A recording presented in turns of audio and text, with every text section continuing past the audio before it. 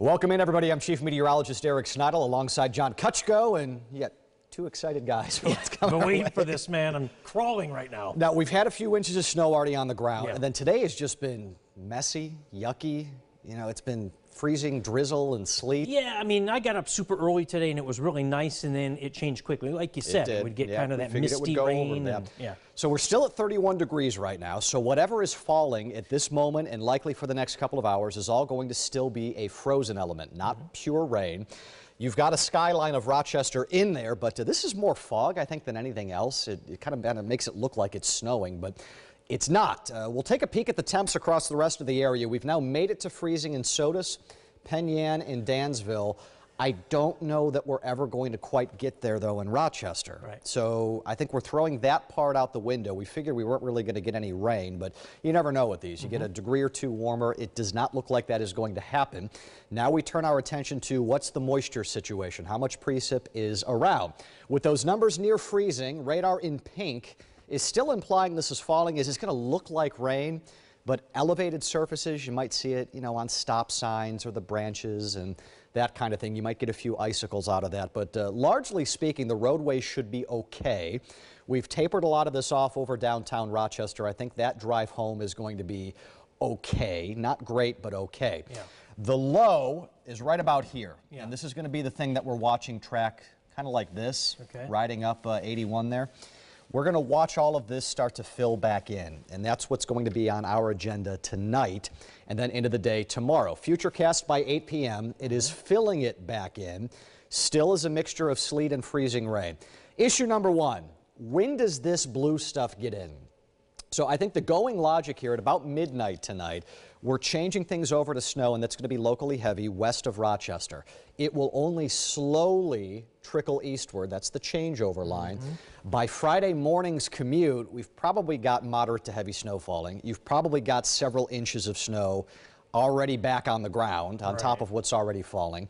Winds are out of the north, which means we're getting the lake involved, and this is why we have winter storm warnings for Orleans, Monroe, and Wayne counties. This stuff will start to break up, but the lake will keep the snow showers going into the afternoon, into the evening, and they will gradually taper off as we go into Saturday morning.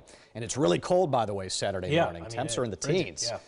Now, in terms of snowfall accumulations out of this, I have been, over these last few days, of the more conservative mindset. And I'm not really straying much from that. These numbers have gone up, but I, I want to throw some caution out there with these. Where you've got the winter storm warnings here, this is going to include Rochester, we've got an area in pink, 8 to 12. I really think, just a gut feeling out of this, it's a lot closer to 8 than it is the 12. Now, we've got 12 in there because there are going to be a few spots where the lake stuff holds on longer Sure. that could get up to 12. But if you're going to pick a number out of these two to focus on around the Rochester area, I would probably be more focused on the earlier one versus the latter one here, the 8. This certainly will help Rochester's cause for the award for city with the most snowfall. It We're is well, lead. but keep in mind too, you know, folks off to the east here in New England, they're Yeah. going to get one to two feet out of this, but we're so far ahead of them. yeah, Anchorage was number two, and Anchorage we were was number two. comfortably ahead of them. And I don't think this system's going to affect them. No, so we're good all to go with that. you go south of this pink shading where you don't get so much of the help from the lake.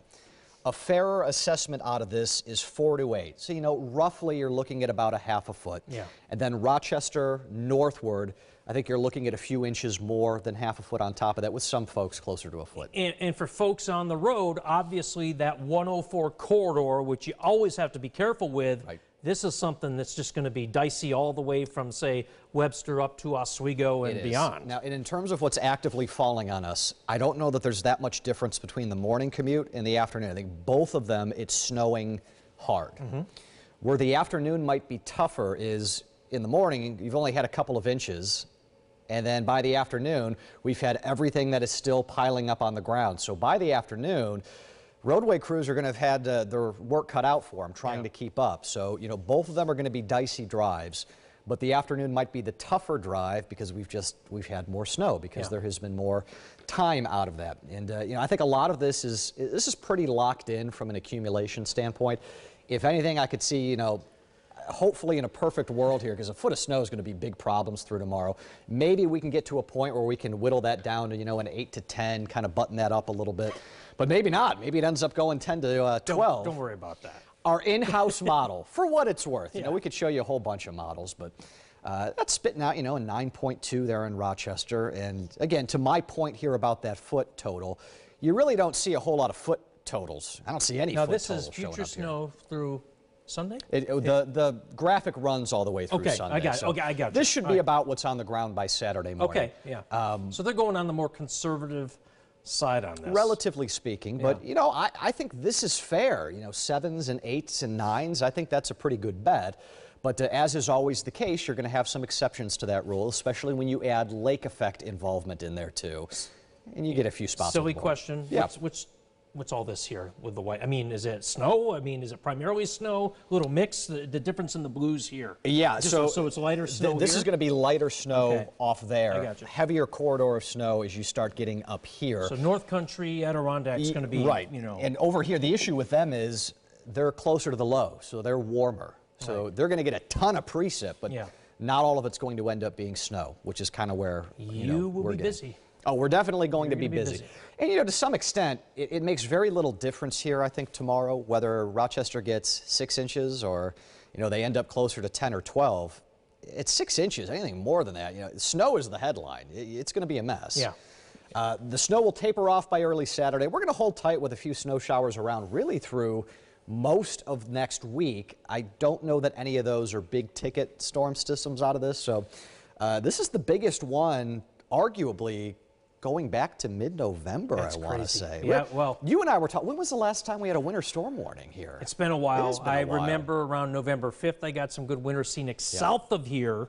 And I remember first week in December, Finger Lakes region, Trumansburg had about 12 to 14 inches. Yeah. Outside of that, it's been a big nothing burger. Yeah, this has been uh, it's been a while.